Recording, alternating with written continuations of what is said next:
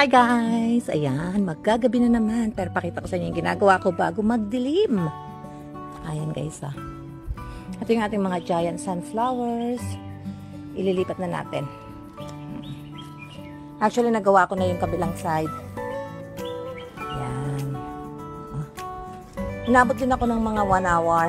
Magbungkal. At saka mag-loosen off ng mga lupa guys kasi nasiksik sila eh. Tapos nilagyan ko na rin ng chicken manure. Yan. Oh, so hopefully magsilakihan tong ating sunflowers. Diba? Oo. Unti-unti lang ang gawa guys kasi nga sobrang daming kailangan gawin pero kapag hindi sinimulan yung gustong gawin walang matatapos. O, diba? Ayan, so hopefully kayo mga sunflowers ay mabuhay ng maganda. Lumaki. Hi guys, ayan. Meron tayong mga puto ng ampalaya at saka ng daisies. Kalgatin meron. Tapos mag pupunla rin tayo ng sitaw kasi nga nag-request si Ate Judith. Yan. So, itong buong panet na ito ay ating lalagyan ng ating punla. Gamitan natin siya nitong seeding and cutting mix. Wala na doon sa nabibilang namin sa Ludenham, pero pwede na siguro to. Ayan guys. Lagyan natin ng yan, nilagyan na natin at inihilera ko na lahat ng seed ng mga sitaw as you can see. Ayan, dami. Pinuno ko na siya kasi yung mga ibon nga kinakain. Ayan guys, so, tapos ginawa ko na rin yung daisies. Ayan, binudbud ko lang ng ganyan at lalagyan lang natin ng lupa side. Hi guys, good afternoon. Ayan, mag-transfer tayo ng mga mustasa. Napakalalaki na. Kahapon ay, kagabi, kagawa ko ng plot eh. So, the-transfer ko yan dyan. Diba? Ang dami nito. Pakita ko sa inyo kapag ka na-transfer na ha. Saglit lang. Ayan guys, tapos na. Mga ano lang naman siya 10 minutes lang.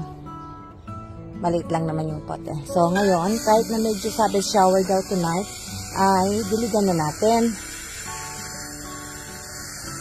Just in case hindi tumulo yung ilan, at least gusto talaga ng mga halaman pagka pinatransfer natin ay natitiligan sila. Yung basa yung lupa. Ayan, hopefully ito ay lumaki ng maayos. Hi guys. Yan, inihingal ako. Nakatapos naman ako ng pagbungkal nitong another plot natin. Ha Mga ano lang to, siguro 10 minutes uli ng pagbubungkal. Tapos nilagyan ko siya ng chicken dang. -mm, ipot ng manok. Tapos aaluin ano, lang natin siya. Haluin na lang natin siya para bukas durug-durugin natin yung lupa. Tapos mix na natin yung ipot ng manok. Para bukas uli, pag may time ako, makapag-transfer ulit tayo ng hilera uli ng petchay. Kasi madami pa tayong ano, yung tawag doon, punla ng petchay, malalaki na rin. Hindi naman na kasi kahirapan tong bungkalin dahil nga last time ito eh merong kamatis dito. Dalawang hilera ng kamatis. Kaya ang bilis. Hi guys! Ayan, gabi na naman. 7.30 na. Gandang tingnan sa likod. Oh. Ayan. Oh, sign off na muna tayo sa garden. Nakarami tayo ng gawa. Oh. Ayan. Kahit paano kinaya ng powers ko na move ko tong last three orange pots natin sa wall side. Nagawan ko rin ng balag itong ilang snow natin dito. Oh. Palaki na rin kasi. Guys. O, diba? Ah, pagod, pagod. But it's all worth it kasi nakakatuwa na unti-unti natatapos natin. Ito yung lemongrass na pinaparami natin. Okay naman, healthy na siya. So, hindi na natin to alisin dito sa pot na ito.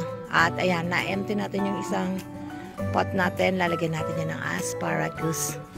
Uh, yun guys, bye!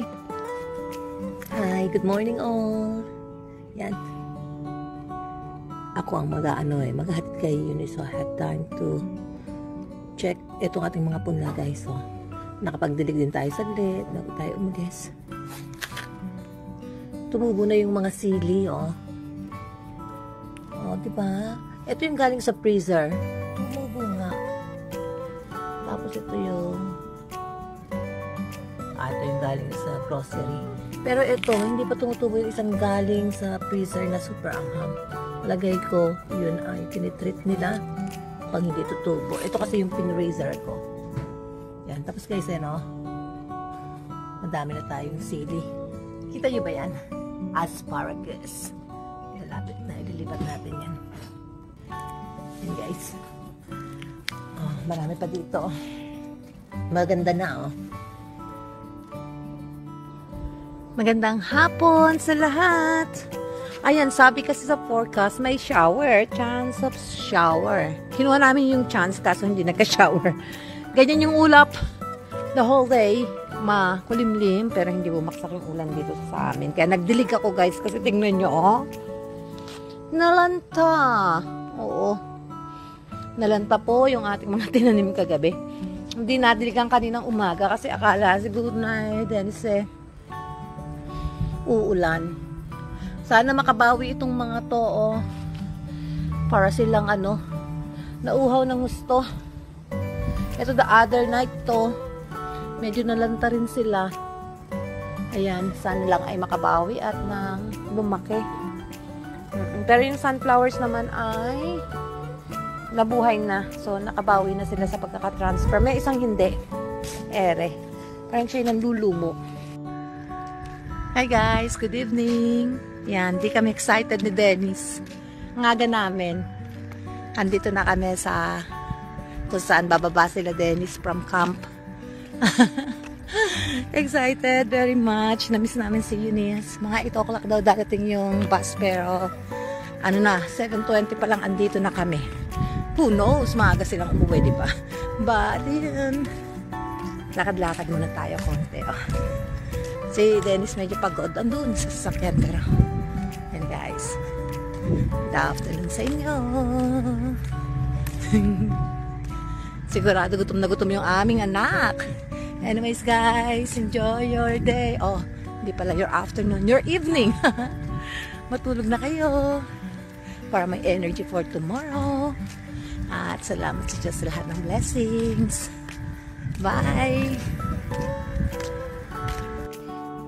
Hi guys, good afternoon. Yan, magta-transfer na si Dennis ng mga kamatis direct sa lupa. So, hindi na namin pinalaki yung iba. Kunin namin yung mga pinakamalalaki. Katulad nito. Yan. Tinanggal ko na yung mga medyo lumang dahon. Tapos ito, pag binaon ito hanggang dun sa may dahon. Ah, di ba? Pakita ko lang din yung ano, yung mga okra. Okay naman. Ayan. Sana malalakas bago i-transfer. So, tingnan nyo yung ano, oh, Chinese celery, ah. Kita na, mukhang Chinese celery na. Ayun pa yung mga iba natin kamatis. Tapos, oh, laki na nito. Pwede itong i-transfer.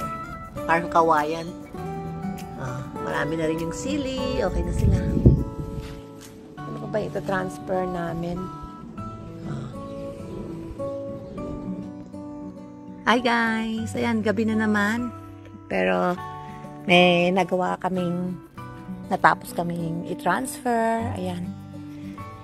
Paunti-unti lang kasi nga basta may time kailangan na natin i-transfer ang ating mga kamatis. Oo. Ito yung San Marzano na kamatis namin. Nakailang puno din siguro. Around 20. Oo. Pero hindi pa tapos. Pwede pang bungkalin hanggang doon. Tapos itong mga ito ay Roma tomatoes. Yan, mas marami kaming nilagay. Mukha lang siyang masinsin guys, pero kasi lalagyan naman siya ulit ng balag pag lumaki na. Tapos pataas uli.